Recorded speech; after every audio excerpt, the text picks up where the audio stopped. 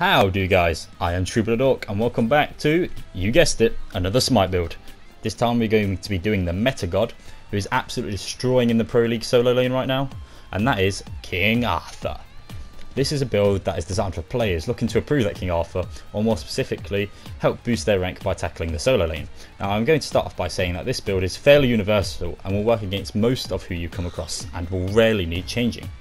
It is a combination of Pro League players builds and a little bit of my opinion, you know how it is, you gotta vary it up a little bit. Uh, first off, we're going to go for the Warrior's Blessing, Chalice of Healing and 5 Multi Potions. Now I'd usually recommend only buying 3, as 5 is very over excessive, but I simply brought 5 here to help me last a little longer in the solo lane with mana cost due to the fact I was facing Chaac and his passive. But yeah, usually 3 mana potions, sorry 3 multi potions, Chalice and Warrior's Blessing. The initial start to the laning phase wasn't anything particularly interesting or diverse. Uh, we both decided to farm minions rather than focusing on each other, which was fine with me. That suits my early Arthur until I get my abilities online perfectly fine.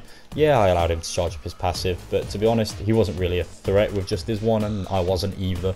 So yeah, I decided to get a couple licks in, and that was pretty much it for the initial phase. Next up is Reinforced Boots. This is due to the fact that King Arthur already has an insane amount of damage output from his abilities when used in unison and correctly.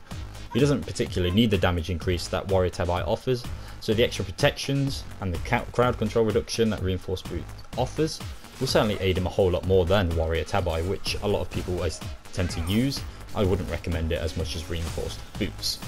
Uh, this is also due to the fact of what is to come later in the build. Reinforced Boots harmonise with this a lot better. Uh, in this particular engagement here, you see that I have my boots online and I begin to actually hurt this Chaac. That ultimate ability hits quite hard and I begin to win lane quite nicely here. Next up, we have the Stone of Gaia. This helps King Arthur to recover 0.5% of his health constantly, which when combined with Chalice can result in some very nice sustain, my dudes.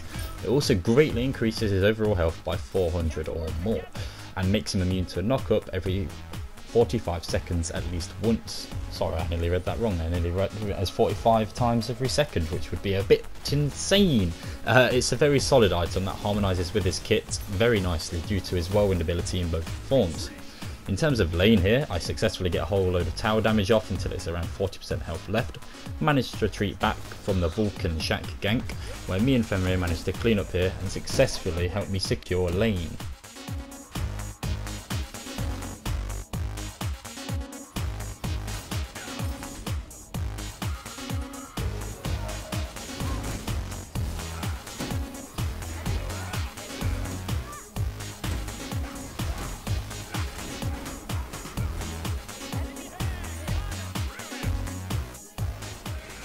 Here we have our very first team fight of the match and oh boy it goes well with our team coming out on top overall. I initiate the gank by using my ultimate upon the Horus in the hope that I get a stage 1 back throughout the encounter. Tsukiyomi attempts to gank from behind but Ephemeral shuts him down quicker than you can say anti-disestablishmentarianism. Anti-disestablishmentarianism.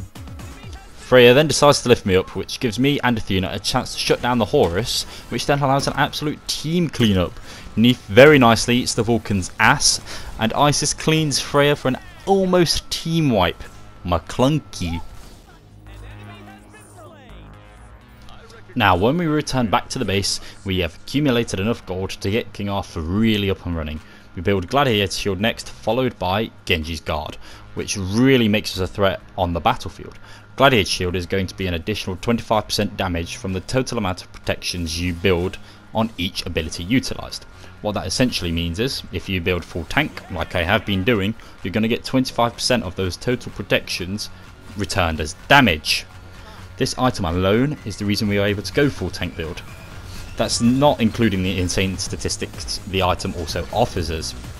Genji's Guard is going to offer us more protections in the form of magical protection this time, and also provides us with a little more cooldown to keep those abilities coming thick and fast for the Beyblade boy.